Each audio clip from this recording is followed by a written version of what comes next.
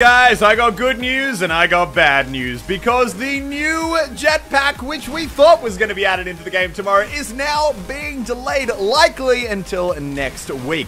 Epic posted on the subreddit for Fortnite today saying that they found some last minute issues with the item, but Luckily, instead of getting nothing this week, we are instead going to be having a new gun added to the game. That's right, the hunting rifle. Now, lucky for us, a lot like the minigun, the hunting rifle is another weapon that already exists in the Save the World version of Fortnite. So we can jump in and actually get ourselves a bit of an early preview of what this gun looks like and how it's likely to work. The hunting rifle is a sniper class weapon. However, unlike the bolt action sniper, it has no scope. Instead, it's given an extremely accurate ADS.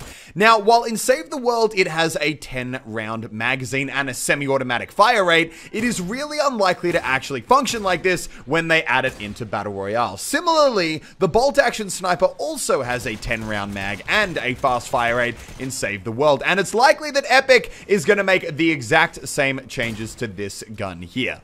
Now, in this clip, you can see what I'm thinking the gun is going to look like when it's added into Battle Royale later this week, requiring you to rechamber a new round after every shot, almost identical to the way the bolt action functions. And while there's no damage numbers available for the gun yet, it's probably going to hit for around 110, 120 damage per bullet, making it a two-shot kill on any enemy, and a one-shot if you manage to hit him in the head. Now, one final thing, guys, is the developer left a bit of a cryptic message in that post saying a new lucky point of interest was going to be added to the game. And thanks to some sleuthy data miners, we've discovered the full name of that place is going to be Lucky Landing. Now, why is it called that? What do they mean? Well, we're going to have to find out tomorrow. Now, guys, the second this update drops, I'm going to be bringing you an epic gameplay with a new hunting rifle and exploring every single inch of Lucky Landing and finding all those new secret loot spots. So make sure you're subscribed if you want to see that. But without further ado, guys, Let's get ourselves a victory royale.